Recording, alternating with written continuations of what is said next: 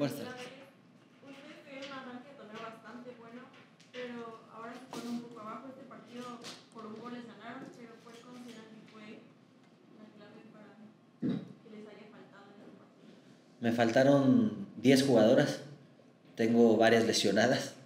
Eh, varias de ellas son 7 que venían jugando de titulares con más minutos. Y llevamos así ya varias jornadas. Digo, hoy creo que se hace un gran trabajo con las jugadoras que tenemos disponibles. Llevamos ya varias jornadas trabajando de esa manera.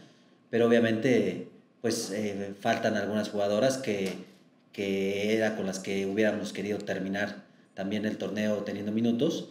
Eh, de más experiencia tal vez. Sin embargo, creo que las chicas que hoy tenemos eh, en el terreno de juego, eh, pues es- es- están haciendo su mejor esfuerzo.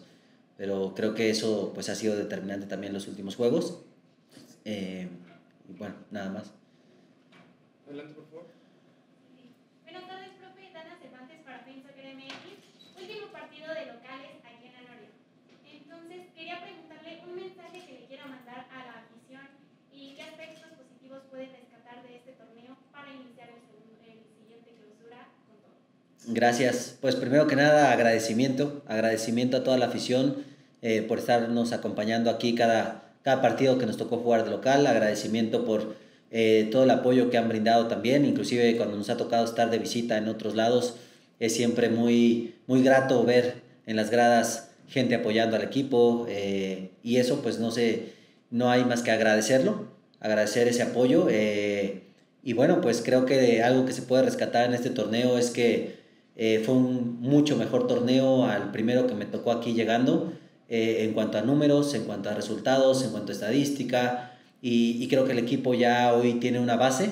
Eh, tú sabes que en torneos anteriores siempre ha habido limpias eh, muy numerosas entre plantel y plantel, ahora creo que hay una base, creo que eso es algo muy rescatable para poder ya con esa base, eh, más los pocos refuerzos que se puedan sumar, eh, tener un gran torneo el, el- el próximo que viene. Gracias. Leí, por favor. Eh, buenas tardes, profe. Ciclalín Gutiérrez para Mr. Fútbol. ¿Cuál es el balance del torneo y qué le faltó a la máquina femenil para poder entrar a la liga?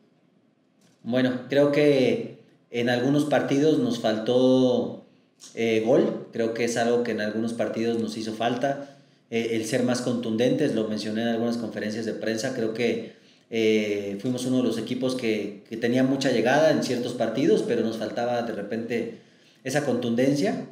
Creo que también por otro lado, lo que mencioné, el, el haber tenido pues un torneo muy atípico en cuanto a lesiones, también fue mermando poco a poco porque eh, pues no es lo mismo tener todas tus piezas, ¿no? Para poder eh, tener variantes, para poder hacer varias cosas, que creo que en algún momento también fue mermando, pero eh, creo que el equipo generó una identidad. Hoy, nuestro último partido aquí en casa, a pesar de la derrota, creo que fue un equipo intenso, creo que fue un equipo que buscó hacer presión alta, hacer una presión tras pérdida inmediata, un equipo que, que le está complicando le compitió al tú por tú a un equipo que está hoy en, en posiciones de liguilla, ¿no? Y así nos pasó con Juárez y nos pasó con algunos otros equipos donde estuvimos compitiendo realmente, eh, creo que bien, hay que afinar detalles puntuales y, y pensar todavía lo que viene, nos falta un partido, eh, por eso también hoy cuidamos a algunas jugadoras ya en- en- a la hora que hicimos los cambios en el segundo tiempo, porque todavía viene un partido y pues tratar de cerrar de la mejor manera. Tenemos dos preguntas. Adelante, por favor. Eh, ¿Qué tal? Eh, Carla Bustamante, Paraje Deportes, y me gustaría saber cuáles fueron sus sensaciones de este partido. Gracias. Hola, ¿qué tal? Eh, bueno, fue, fueron varias sensaciones a lo largo de todo el partido, eh, en diferentes momentos. Eh, por momentos un poco de frustración. creo que por ahí cometimos algunos errores muy puntuales que nos costaron goles. Eh, pero también de, de satisfacción porque el equipo nunca, a pesar de esos errores, nunca se dio por vencido, nunca bajó los brazos, siguió insistiendo, siguió buscando, siguió eh, buscando hacer daño al rival, meter goles y, y creo que eso es muy rescatable. Y me quiero quedar con eso, creo que eso es bien importante, que el equipo haya luchado hasta el final y, y como bien lo dijeron por ahí, pues fueron cuatro goles importantes también que se consiguieron. Una pregunta tú, Daniel, por favor. Hola por acá, profe. Gusto en saludarte a la Lara de TUDN. Dos preguntas rápidas, si me permites. La primera, pues el fútbol va generando polémicas, la tecnología va avanzando y, y- y por ahí por ejemplo, este juego, muchas jugadas apretadas, ¿no? ¿Qué opina usted si es necesario que ya entre el VAR en fase regular en la Liga MX femenil? Es la primera pregunta. ¿Cree que ya sea urgente? Alan, ¿qué tal? Buenas tardes. Eh, sí, definitivamente creo que, que, es muy importante que el VAR ya, ya esté en la liga femenil.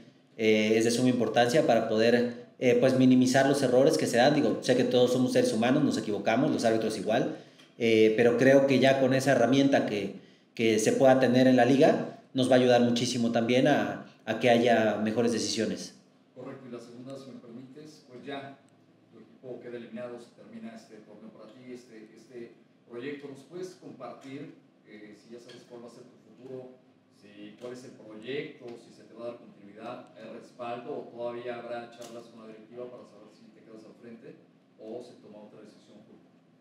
Pues mira, hasta donde tengo entendido, continuamos en el proyecto. Ya se, eh, se hizo alguna charla con la directiva y pues hasta donde yo sé al día de hoy seguimos adelante y continuamos para el próximo torneo. Éxito, gracias. Gracias.